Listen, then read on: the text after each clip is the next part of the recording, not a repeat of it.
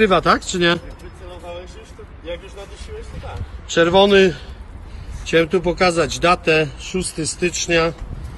Yy, I teraz chciałem pokazać niejaki Janeks, tak? Jak, jak mu Janeks, tak? Panie Janeks, tak właśnie wygląda i panie Mowlik, tak wygląda y, y, chłopak, który żeście dzisiaj napisali, że co ci jest, synek? Po operacji jesteś, tak? Po operacji. Tak właśnie wygląda po operacji. Biegać nie może. Co jeszcze chcecie widzieć? Y, Powiem panu, pan, panie Janeks, tak, zajmij się pan pisaniem, bo jak panu wchodzi wujek do wanny, to tego kurwa reszty nie interesuje. A to mówię ja, Jacek Gumny, ojciec kurwa Roberta Gumnego.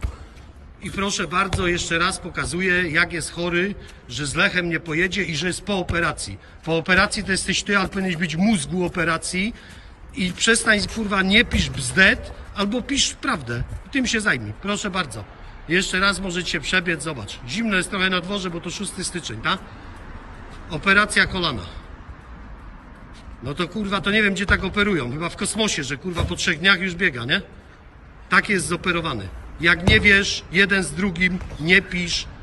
Chyba, że bierzecie gdzieś pieniążki za to, kurwa, żeby komuś coś utrudnić pod górę.